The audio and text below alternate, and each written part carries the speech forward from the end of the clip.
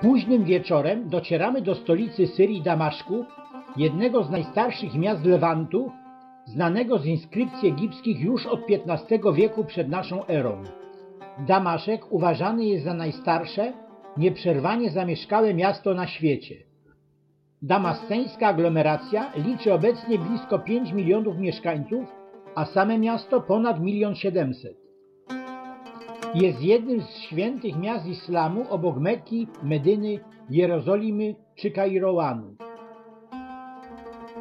Miasto obfituje w liczne zabytki, z których część będziemy mieli okazję poznać w ciągu dwóch dni pobytu.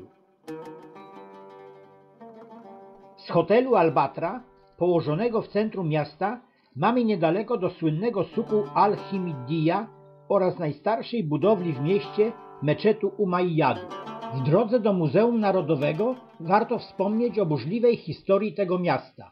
Damaszek był w II i I wieku przed naszą erą stolicą niezależnego państwa aramejskiego. Zdobywali go kolejno Asyryjczycy, Babilończycy, Persowie, Egipcjanie, Rzymianie, a po podziale Imperium Rzymskiego stał się częścią Bizancjum. W 635 roku zajęli go Arabowie, czyniąc stolicą kalifatu umajackiego. W 1076 roku zdobyli go Turcy Seldżucy, a podczas wypraw krzyżowych został stolicą Seladyna i dynastii Ajubidów. W XVI wieku padł łupem Turków osmańskich, którzy utracili go podczas I wojny światowej na rzecz arabskich sojuszników Wielkiej Brytanii. Po wojnie został stolicą Syrii. Oaza nad tą rzeką Barada, znajdująca się na skraju pustyni syryjskiej, była początkiem miasta.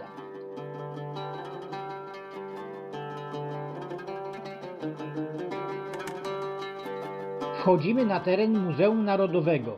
Jak w wielu muzeach na świecie, tak i w tym należy wyłączyć aparaty fotograficzne i kamery. W obszernym ogrodzie zgromadzono ciekawe eksponaty z wykopalisk prowadzonych na terenie Syrii, pochodzące głównie ze słynnej Palmiry. Wystawę plenerową wolno filmować.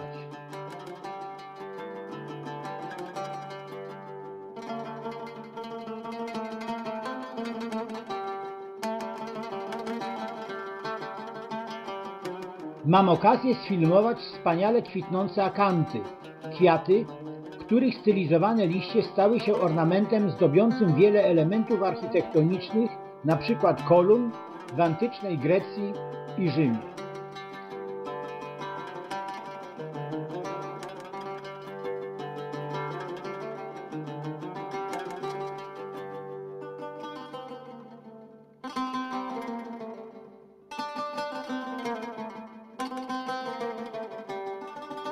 Imponującą fasadę Muzeum Narodowego wbudowano oryginalną bramę z 688 roku, przeniesioną z pałacu Qasr al-Khair al-Kharb niedaleko Palmiry.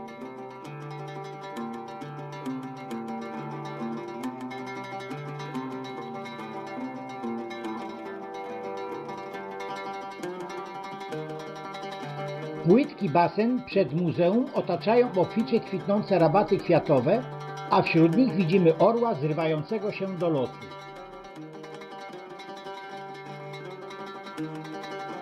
Nad kamiennymi sarkofagami z czasów rzymskich wznoszą się współczesne wieżyczki minaretu.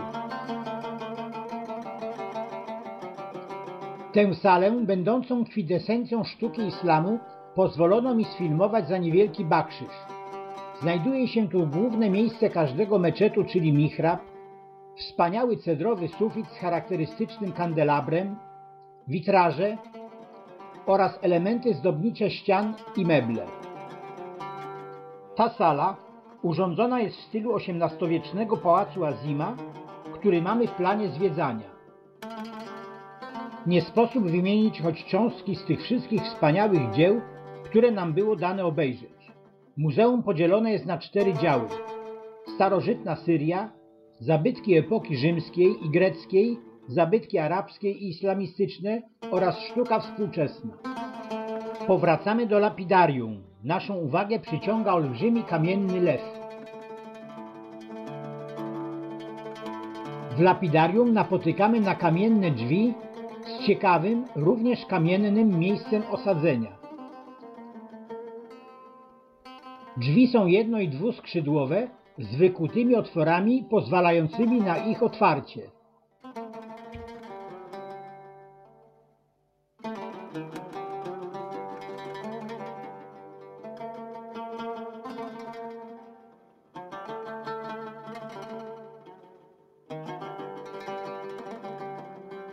Na tych dwuskrzydłowych drzwiach znajduje się płaskorzeźba z głową kobiety i poniżej byka.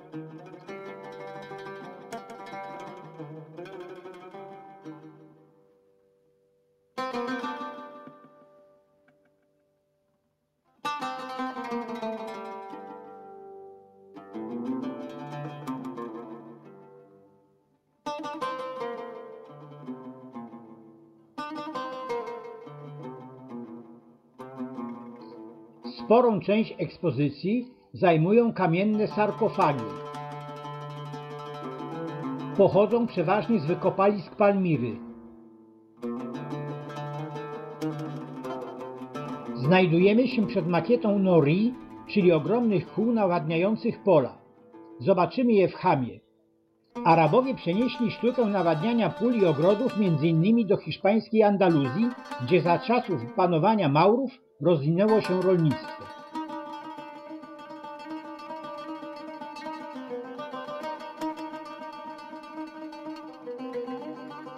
Kończy się czas przeznaczony na Damasceńskie Muzeum Narodowe.